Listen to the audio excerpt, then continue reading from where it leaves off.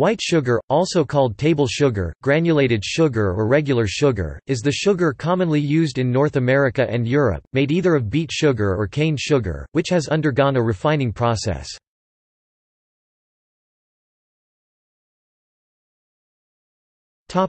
Description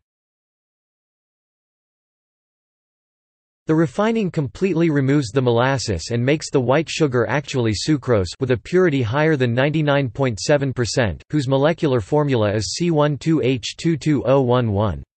The origin of the sugar thus produced is therefore chemically indistinguishable sugar cane or sugar beet, it's however possible to identify its origin through a carbon-13 analysis similar to radiocarbon dating used in archaeology. From a chemical and nutritional point of view, white sugar does not contain, in comparison to brown sugar, some minerals such as calcium, potassium, iron and magnesium present in molasses, even if the quantities contained in brown sugar are so small to be actually not significant.